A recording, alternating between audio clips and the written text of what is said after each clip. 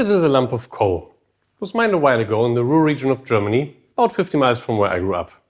As coal goes, it's actually quite high end. It's very dry, has a high share of carbon in it.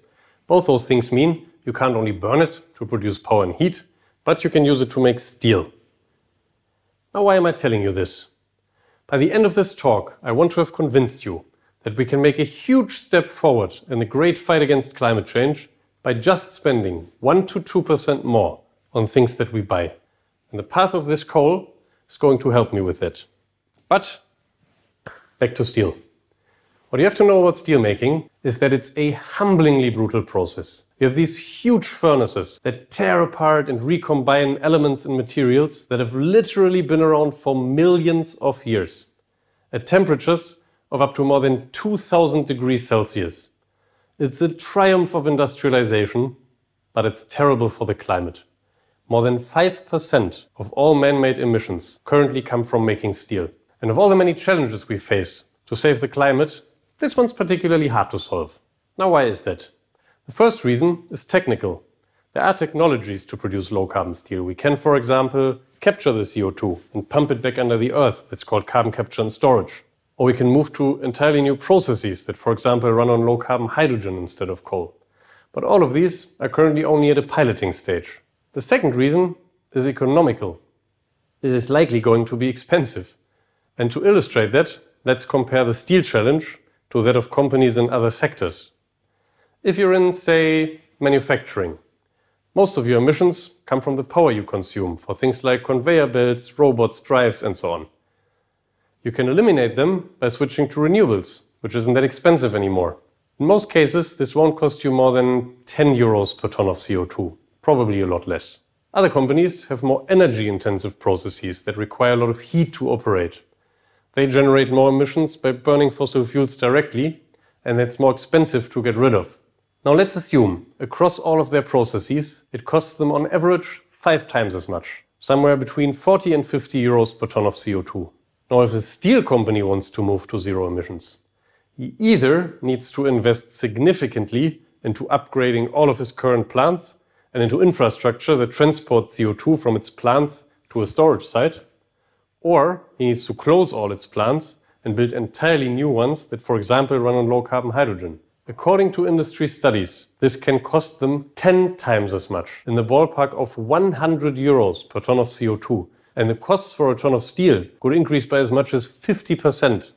Now, to make matters even worse, our steel company operates in a commodity business. He almost exclusively competes on price and he has shitty margins already. That means for him saving CO2 is expensive, but his profit per ton of CO2 is very low. And this puts him in the uncomfortable company of only a few other sectors, the so-called hard to abate sectors club. Those are industries like cement and chemicals that have equally messy industrial processes and require very high temperatures to operate. Or aviation and shipping that need to invest a lot of energy to move very large and heavy objects over longer distances. In hard to abate sectors, are one of the larger dilemmas of international climate action, because discussions around decarbonization usually go roughly like this. Where the activist says, Your emissions are harming the planet and threatening humanity. You need to change immediately. And the company answers, I know, but if I invest in low carbon technologies and the next guy doesn't, I will be more expensive and go out of business. That won't help the climate. So first I need a level playing field. Both understandable positions, but bringing down emissions is kind of urgent, and a global level playing field in which, say, all countries agree on one mutual price for carbon emissions probably won't materialize anymore in my lifetime. So, this is where the discussions usually reach a stalemate and where my talk would therefore end. But would it end here? I hadn't been invited to hold it. And I already promised you that saving the planet does not have to break the bank. So let's maybe follow the path of our lump of coal just a little further. The last time we left it, it had helped make steel, which climate impact notwithstanding is one of the key building blocks in our economies. It's in many, many things, from huge structures to everyday household items like refrigerators or washing machines. We use it to build wind turbines, which we need to save emissions in the power sector. And we use it to build our cars, which is the part of the journey I'd like us to follow next. Now, in today's typical car, Steel can be found in many, many different parts. You can assume that an average European mid-sized sedan with a 30,000 euro price tag contains about one ton of it. To produce one ton of steel, in Europe generates a bit less than two, two tons of carbon emissions. In other countries like China, it's a bit more, so let's round to two. Now, we've learned earlier that moving to low carbon steel can increase its costs by as much as 50%. If history tells us anything, then these costs will likely decrease over the long run if humans truly put their mind, their muscle, their money behind it. But for the sake of this argument, let's stick to these costs, plus 50%. In the case of our European mid-sized sedan, this translates into, wait for it, 200 euros. Wait, that can't be right. That's not even a percent of final sales value. Well, let's do the maths. If you spend 30,000 euros for a car, what are you actually paying for? Well, first of all, the car company needs to make money. So the first 20% are for his margin, for marketing, the whole sales organization, overhead, and so on. The car has to be assembled. Another 20% go to production. First, the parts in the car have to be assembled. 40% go to suppliers. In this whole process, many things need to be moved from A to B and back, so more goes to transportation. Now, only 15% of the price of the car is actually for the materials in it. Things like the battery, aluminum, plastics, glass, and 2% for the steel. This means that materials that make up 90% of a car's emission footprint by the time that I can buy it in the dealership make up only 15% of its costs. And it means that even the car company has to pay 50% more for the steel in a car this only translates into a very small markup on my final sales price. Now you rightly argue that steel isn't the only thing creating emissions in the car. And that's of course correct. So we did the math for all other commodities and processes as well. And it turns out building a 30,000 euro car out of exclusively carbon neutral materials will only increase its price to 30,500 euros only 500 euros extra. That's less than 2% more. Buying that same car in sunset red instead of black would cost me 700 euros extra. Fancier rims, 1000 euros extra. Leather seats, 2000 euros extra. You get the picture. So let's imagine that same discussion we've had earlier, but with a car producer in the middle, where the activist says, Your emissions are harming the planet and threatening humanity. You need to change immediately. And now the car producer answers, I know, but if I invest in low carbon materials and the next guy doesn't, my car will be 2% more expensive. Wait, my customers might actually pay that. And I can market all my cars as carbon neutral. Steel producer, your steel is creating too many emissions in my car. You have to change immediately. I can make low carbon steel for you, but it will be more expensive. How much more expensive?